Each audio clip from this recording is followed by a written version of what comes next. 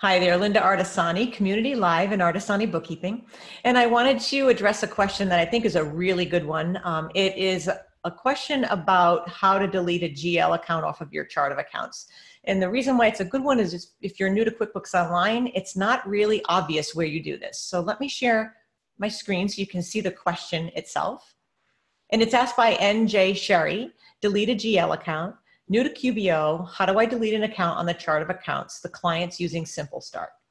So I've got a Simple Start account open and you can see here, I've got two accounts here. Uncategorized income, this is one of those default accounts you can't delete. And this one's clearly not the one that it's been replicated uncategorized income. So how do I delete it?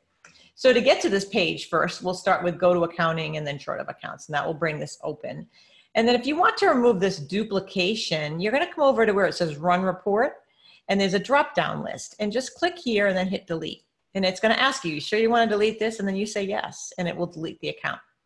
So that's how simple it is to be able to just delete an account on on QuickBooks Online off the chart of accounts. If it's a default account, it's going to tell you that you can't delete it, and there's a few of them. Those uncategorized accounts are for online banking, so just so you be aware of that. And there's a few other ones, um, opening balance equity, uh, reconciliations, discrepancies. I think you can delete that one. It'll just keep making it if you use it again.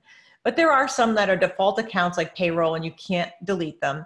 But um, for the most part, you can delete or clean up your, your, um, your chart of accounts very simply. So I hope that helps and uh, keep asking questions. And if you have any more questions, feel free to reach out to us. We're here to help. Thanks. Bye.